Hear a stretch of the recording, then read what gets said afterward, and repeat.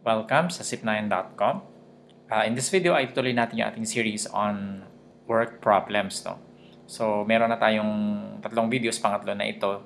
And I suggest kung hindi nyo pa, napap- kung hindi nyo pa napapanood yung dalawa, no? yung previous two ay panoorin nyo, yung part 1 at part 2. Kasi doon ko dinidiscuss yung uh, konsepto, bakit naging ganun yung equation. No? So, dito kung papanoorin nyo to at hindi nyo pa napapanood yung dalawa, medyo at hindi kayo familiar sa ano sa work problems ay siguro may memorize nyo lang yung, yung equations but then hindi talaga siya maintindihan. No? So, so I strongly suggest na na panoorin nyo yung uh, naunang dalawang videos. Okay, so let's discuss. Chloe and Diane are gown designers in a prestigious company. Chloe and Diane can embellish a gown in 4 hours. Chloe alone can do the same task in 6 hours. How long will Diane be able to do the same task if she were to do the work alone? Okay, so si meron tayong si Chloe, no? Si Chloe. Meron tayong Diane.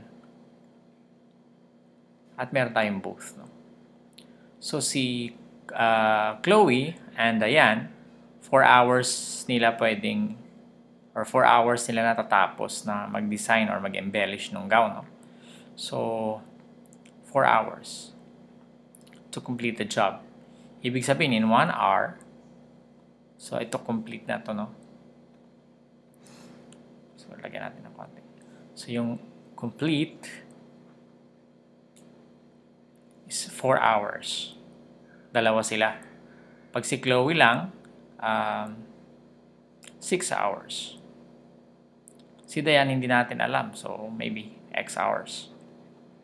Now, for 1 hour, ilang part ng job yung yung na-finish ni Chloe? Siyempre, kung 1 hour pa lang, 1-6 pa lang ng job, no? And of course, pag both uh, na sila, magiging 1-4 na ng job in 1 hour. No? And of course, si Dayan, in 1 hour, dahil hindi naman natin alam kung ilan yung number of hours niya, magiging 1 over x.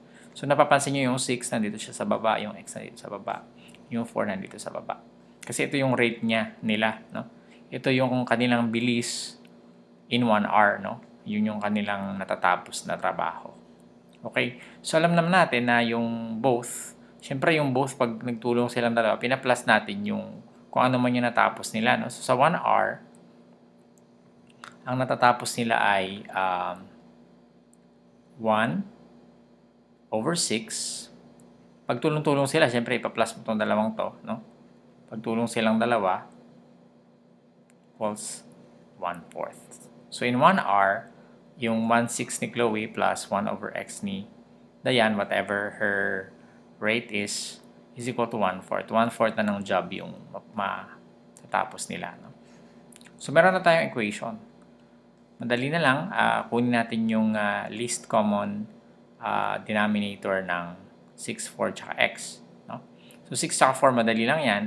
Ano bang number na pag nag nilist natin yung mga multiples ay pinakamaliit, least common multiple ito, no? Kung nakalimutan nyo na. So, we have 4, 8, 12. Ito yung mga multiples ng 6, multiples of 4, 4, 8, 12, 16. Anong pinakamaliit? Yun yung least common multiple, no? So, yung least common multiple natin ay uh, 12. No? Or in this case, kung, kung sa fraction, yun yung kanyang least common denominator. Tapos meron pa tayong x, syempre isasama natin yung x, no? So, we have 12 dun sa number, tsaka x. Yun yung least common multiple. No? Actually, pwedeng 12 lang, pero mag-simplify din kayo later.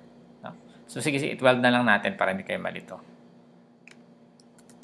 So, pag minultiply natin everything by 12, we have 12 times 1 over 6 plus 12 times 1 over x plus 12 times 1. O, hindi siya plus, kundi equals. Uh, kaya tayo nag, bakit nga ba tayo nag multiply ng 12? Minultiply natin ng 12 yung equation para mawala na yung fraction, no? So, mawala yung mga fractions ma-reduce natin. So, 12 times 1, 6 is 12 over 6. No? Diba, 12 over 1 yan, di ba? Tapos minultiply natin yung numerator tsaka yung denominator. Kaya siya naging 12 over 6. Plus 12 over x. Plus, what is 12 over 4? So, pwede na tayong mag-simplify. We have, ang 12 over 6 natin ay 2, di ba? Plus 12 over x equals, what is 12 over 4? 3, di ba?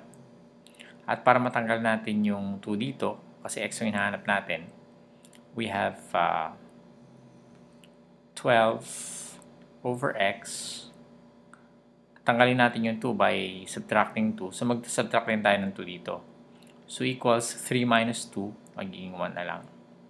Ayaw natin ng x sa ibaba, di ba? Kasi, uh, gusto natin na sa taas siya palagi because we're looking for x. So, sabihin, we multiply everything also by x. So, 12x times x, makakancel yan, matitira 12. And then 1 times x equals x. Ibig sabihin, yung value ng x natin ay 12. Ibig sabihin, 12 hours matatapos ni Dayan yung uh, task. No? And uh, for 1 hour, ang kanyang rate ay 1 over 12. Pero ang hinahanap natin, how long will Dayan be able to do the same task if she were to work alone? Ibig sabihin, ilang oras siya matatapos. So, ang x natin, x hours is 12 hours. So, ito yung ating pinakasagot. Okay, so I hope uh, meron kayo natutunan sa video na to gusto kayong invite sa siplayan.com and kung gusto niyo mag-subscribe, just click the subscribe button below, no? So, tandaan nyo lang yung pagkakasetup ng mga equations kasi wala talagang ano itong wala talagang specific formula itong uh, work problems. Depende yan sa depende sa situation, no? So, dapat maging familiar kayo kung paano mag-setup kasi pag na-setup nyo na, madali lang naman siya i-solve algebraically. Okay, see you in the next tutorial.